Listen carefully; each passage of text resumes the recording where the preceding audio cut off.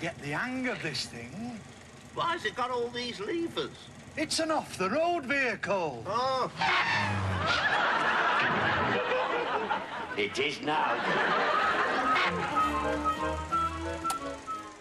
How many vehicles do you know that can double up as a mobile cinema? How many that can literally do anything and go anywhere? Well, there's one, the good old Land Rover.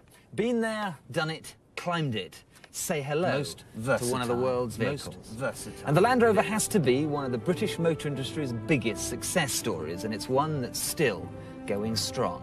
And remember, it's a British invention, designed almost 50 years ago.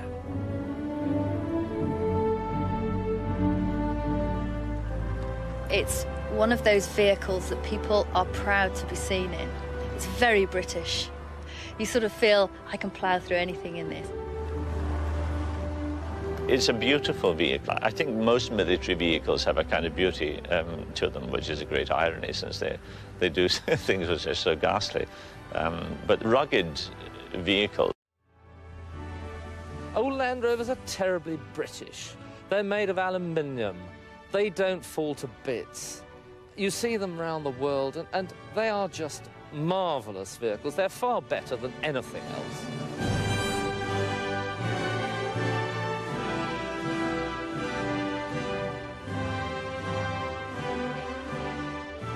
And once you've ridden in one, it's an unforgettable experience.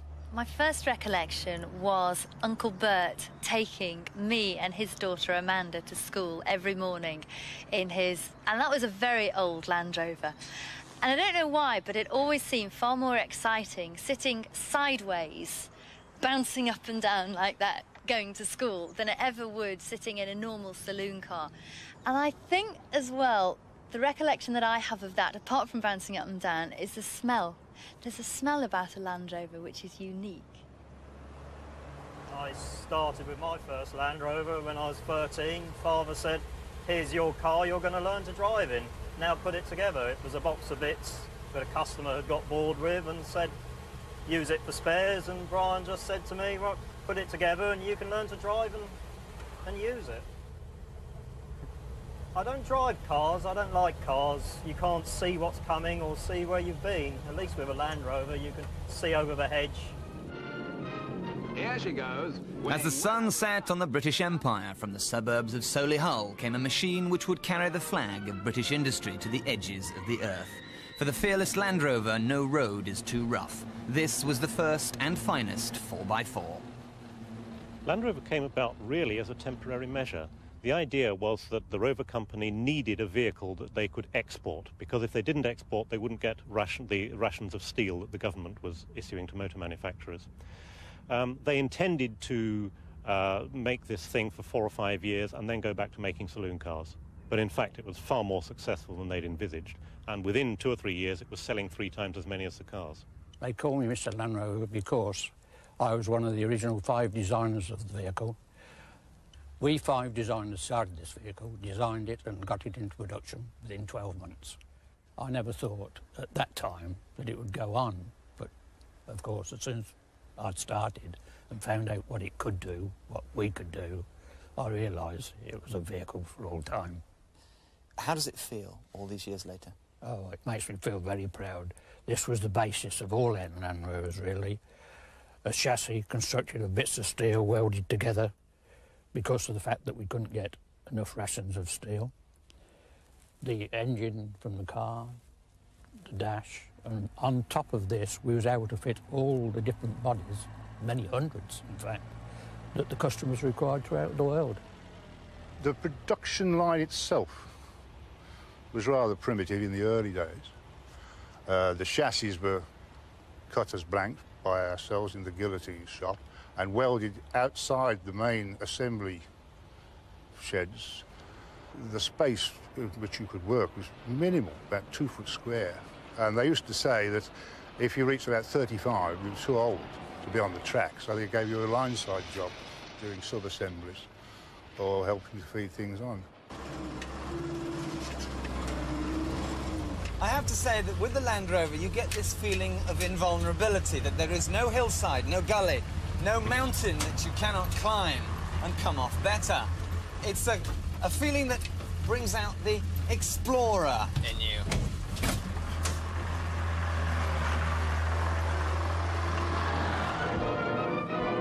The Oxford and Cambridge Far Eastern Expedition set up a new record.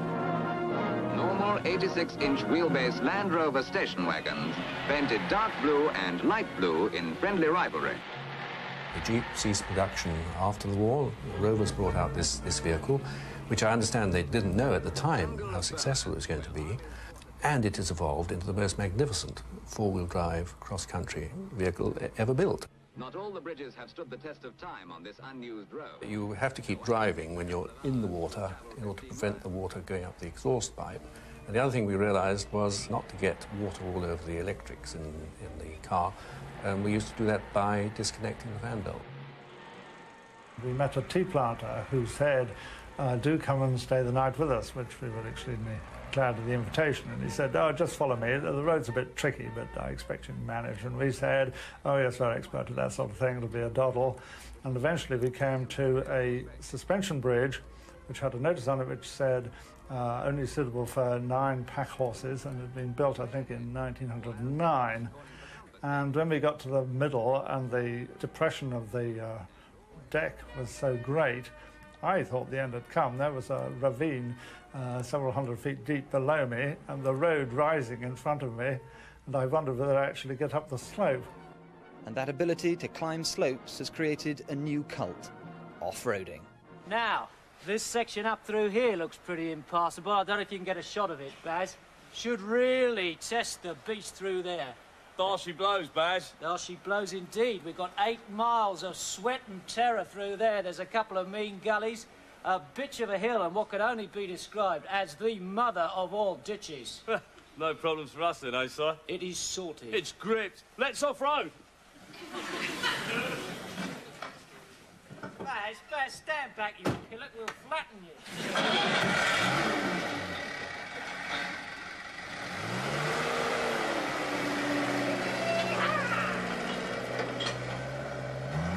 The Land Rover. A tough, chunky, cheeky, versatile But those early Land Rovers weren't meant as off-roaders, but earnest agricultural workhorses. The tough and tenacious American wartime Willys Jeep had caught the attention of Rover car boss Maurice Wilks. He used one on his Anglesey estate and reckoned that post-war Britain would buy a go-anywhere utility vehicle. And he was right. In just 12 months, the Land Rover was on the market.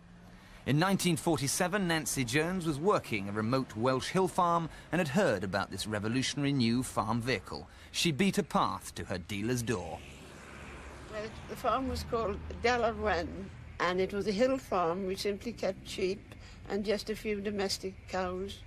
But we really needed a vehicle to get all the produce up to the house, and the, there wasn't a bridge on the river, I had to go through the ford. And then I heard about the new Land Rover coming out. So I thought that'd be rather nice.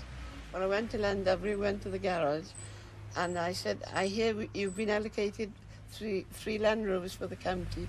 And I said, I want one. I'm one of your customers, and I think I'm a the most worthy cause. And they didn't argue with me, they gave it me. We had a horse called Jolly. She was a working horse. And um, so one day we decided we'd try and take out some farm manure with a Land Rover. And she, and she watched us the whole afternoon. She wouldn't settle down to graze at all. As if she knew we were taking on her work.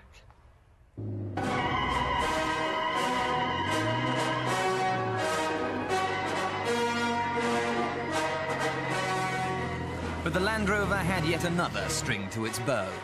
Before long, the world's military had become the biggest customers.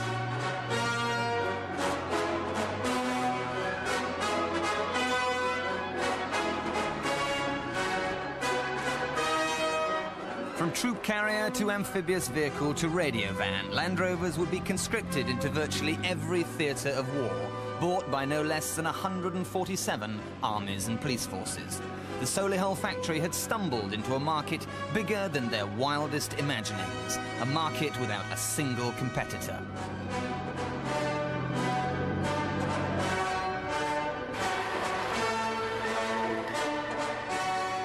And the Land Rover's national service helped its civilian development.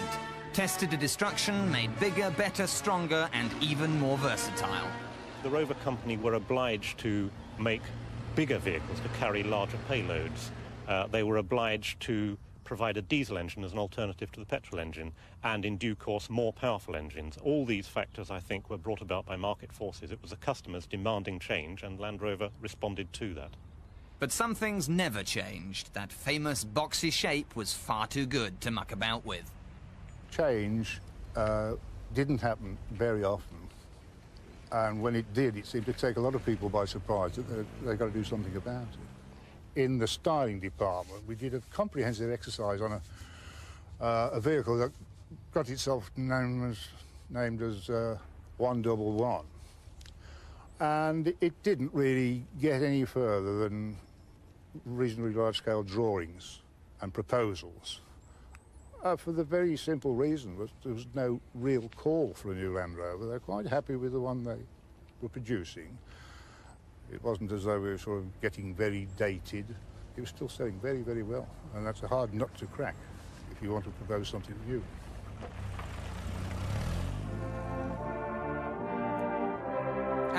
Another good reason not to change a thing.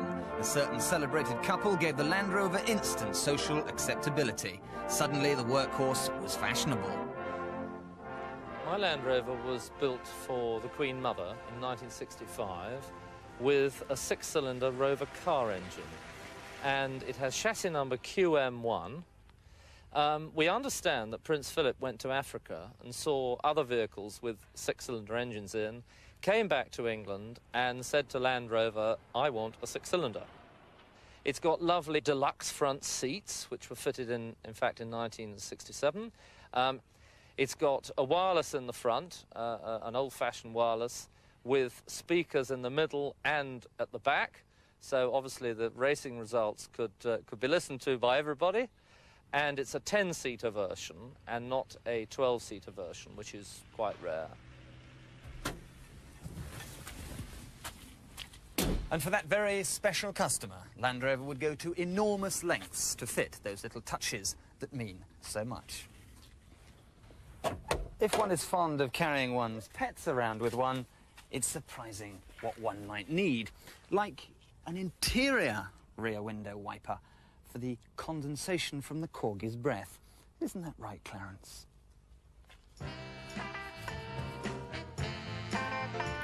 From monarchs to mudpluggers, there seemed no limit to the creativity of those clever people at Solihull. And if you're looking for the weirdest and wackiest incarnations, pay a visit to the Bashall family and the Dunsfold Land Rover Trust. Deep in leafy Surrey, Brian and his son Philip have spent a large chunk of their lives preserving some of the more unusual bits of the Land Rover story.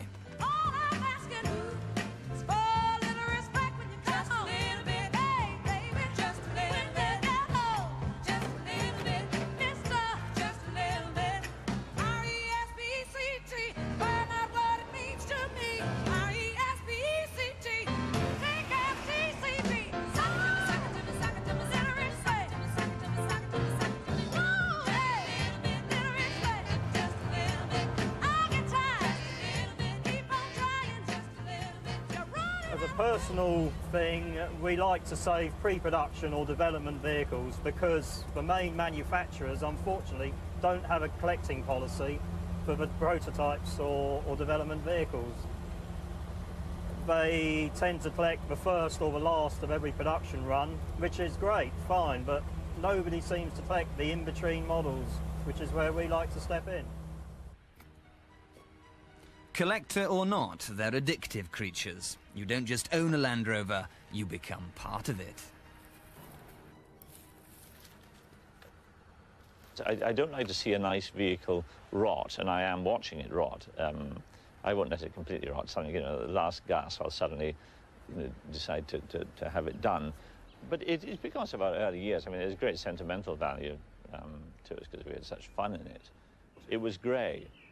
You can you can still see a little bit of grey on the on, on, the corner, but uh, we, we, actually just bought a, a, a, tin of Dulux and a couple of rushes, and we painted it white. I don't know why we decided to paint it white. We should have painted it camouflage colours, really, so that it wouldn't stick out in the countryside. Um, but we decided to paint it white. Young and foolish. oh dear! Oh dear! Oh dear! We came over the Alps and I forgot to check the, uh, the water and the, the, what do you call it, wasn't working, the temperature gauge wasn't working. And uh, we just forgot to, to, to check the water. And suddenly steam came belching out of it and uh, we ground to a halt. And uh, fortunately there was a garage nearby and a, a little French workshop and this guy came along and looked at it and said, Oh, oh il faut démonter tout ça. We have to take it all to pieces. And uh, he spent a day on it, put us back together, and off we went. That's the great thing about the Land Rover. You could always find something to do. I would say that it is one of the greatest success stories of the British manufacturing world. It's been now from 1947 until the present time, still running, still building, nearly as many as we ever did. It shows that it is what we thought it was. A success story without end. With sales approaching 2 million, Land Rovers have become a national institution. They've been imitated but never bettered, and even formed the basis for yet another Solihull legend the sharp-suited Range Rover.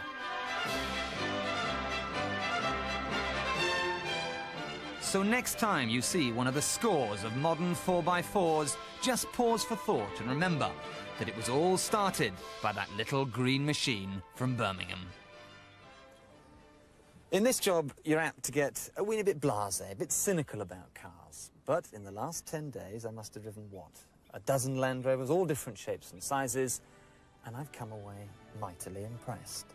So guess what I've just bought?